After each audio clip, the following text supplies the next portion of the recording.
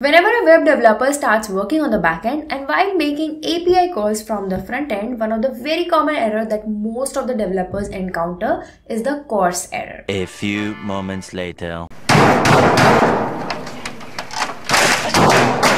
So if you are someone who is currently facing this issue, then this video is what you need to watch right now. So I've created this project folder in which I have two folders within it, one for the backend called as server and one for the front end called as client. So I have my backend in which I've created a server using Express and I've defined an API endpoint over here. And this server is currently hosted on port 8000. So the origin uh, right now is localhost 8000. I've also created my frontend using React in which I am making a call to this particular API. And here I've simply specified the backend origin with the API endpoint.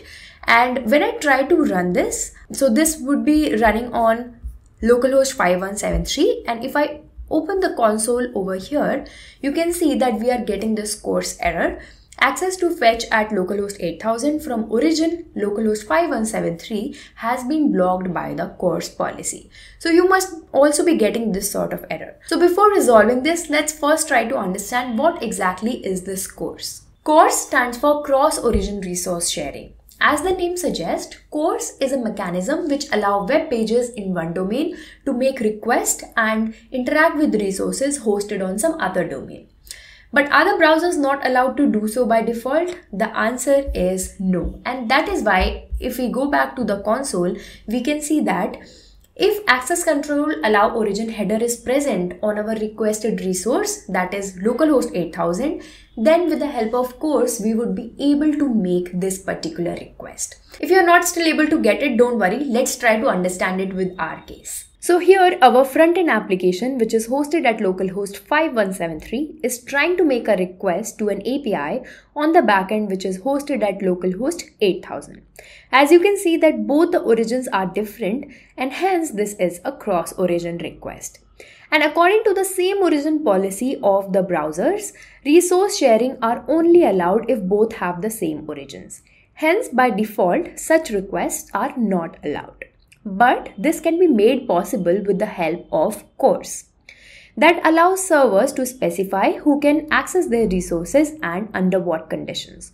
So when browsers see this type of request, it first goes to the CORS and checks if this particular origin has the permission to access the resources or not. If in the CORS we have specified that we should allow this particular origin to access our resources, then we are able to fetch the data.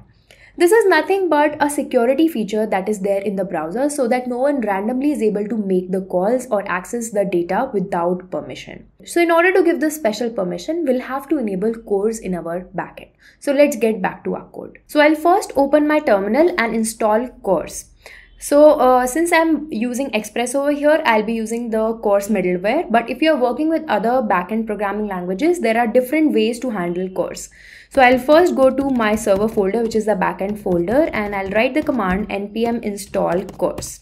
And once this is installed, we would be able to see it in our package.json file. So yeah, here it is specified.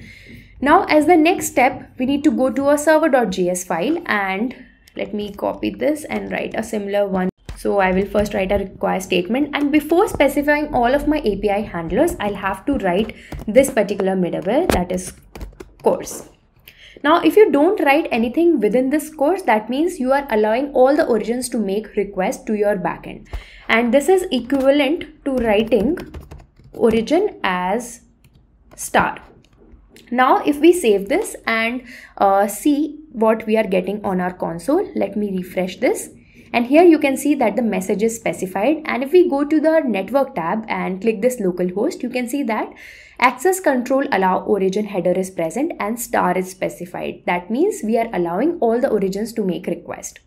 Now you might be thinking that what if we only want a specific origin to make a request to a backend. So that can also be done. So let me allow only this one to make a request to a backend. So instead of writing star over here, we can write 5173 and save it. Let's see what is happening now. Let me refresh. Click on localhost. You can see that now in the access control allow origin 51 localhost 5173 is specified and yet again we are able to get the data. So what if I write say 5174 and save this. It should throw me an error, the same type of error that we were seeing initially. So if we go to the console now and do a refresh, you can see that this has been blocked by CORS policy. So we are again getting the error and in the network tab, there is an error as we can see that localhost 5174 has been specified as the access control allow origin. So this is the power of CORS. Hence, uh, it's always advisable to use CORS in your project whenever you want to make API calls from your front end. And if you're working on a real project, it's always a good idea that if you only want to allow specific origins to specify them here instead of writing just CORS and allowing all sort of origins to make request to your backend. So you can see how easy it was to resolve this error. I have myself spent hours to resolve this error and from my experience I did not want my viewers to face this issue and that's why I wanted to make this video.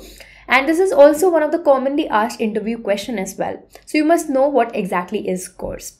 So that's all for this video. And if you're new to backend and you want me to create a video on how to create a backend server, make APIs and call them through the front end, do let me know in the comment section down below. And if you like this video, don't forget to hit the like button and subscribe to this channel for more such informative videos in the future.